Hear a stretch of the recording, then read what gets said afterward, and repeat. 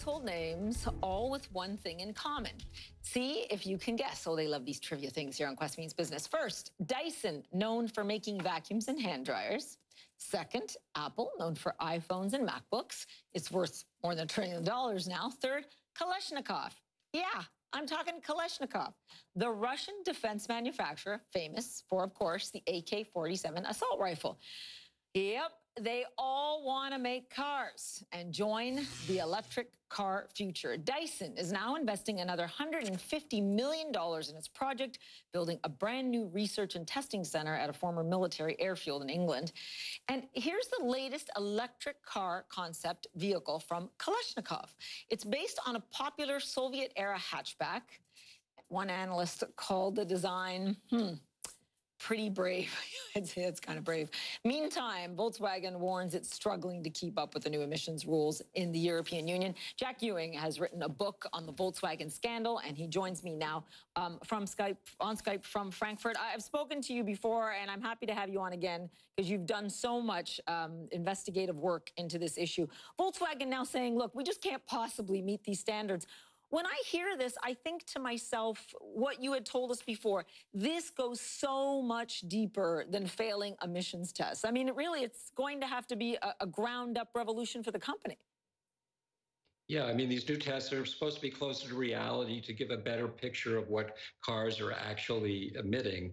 And this is something that Volkswagen can't get wrong with all the problems that it's had with emissions. So there's a huge bottleneck. There's, there's delays in delivering super, uh, certain models and, and it's definitely causing a lot of problems for the company when they're still struggling with the emissions crisis. What's at the heart of the issue here, though? I mean, we're always hearing about the famous engineering that goes into cars like Volkswagen, and yet consumers may be left with the impression that actually they were scammed for many, many years because they do not seem to get ahead of this.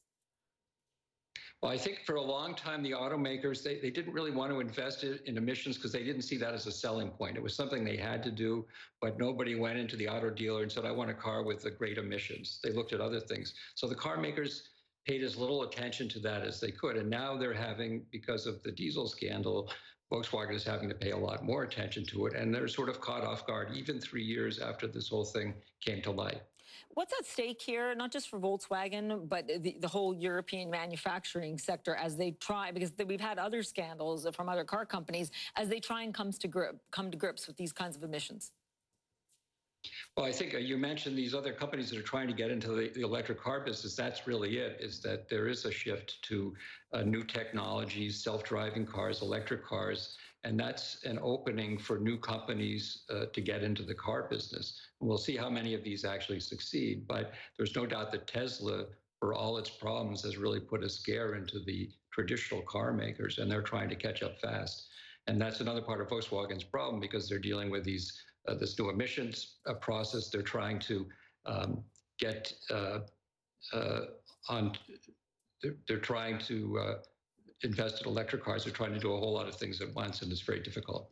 And Jack, I know that you follow the economics of this very closely when it comes to European car manufacturing. The EU, uh, in its trade disputes with the United States, is now suggesting that they may they may bring down the auto tariffs. What's that work there in terms of a long-term strategy if you're looking at EU policy in cars? Well, the EU is, is basically they're giving into pre pressure from uh, President Trump. He's threatened to put tariffs, 25% uh, tariffs on cars coming from Europe or coming from Mexico, where Volkswagen builds a lot of cars. And that would be catastrophic for the auto industry because of all the other problems we were just talking about.